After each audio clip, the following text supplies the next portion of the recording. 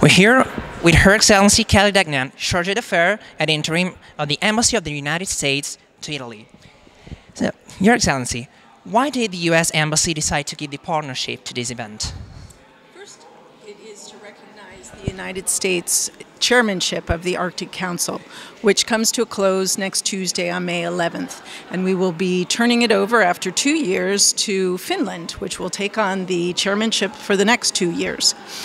But in addition to that, it's very important to the United States to encourage young people around the world to take an interest and to participate actively in global issues. And uh, this is one area, the Arctic, that is going to be so important to the future generations right now, but also to future generations. And we think it's important to get young people thinking about it now. That's a really great message. And second, what are the principal objectives of the US Arctic policy?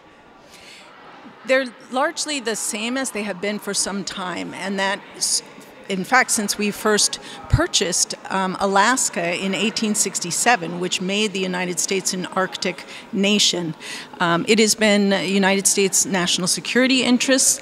It's uh, conserving the environment up there and the resources so that they are well managed.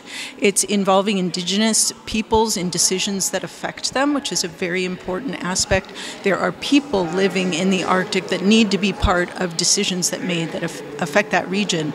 Um, it's as well in uh, managing um, resources across the, the board in, and commercially developing where it is responsible to do so. Thank you so much for your contribution. It's been a pleasure. Thank you, Emiliano. Thank you.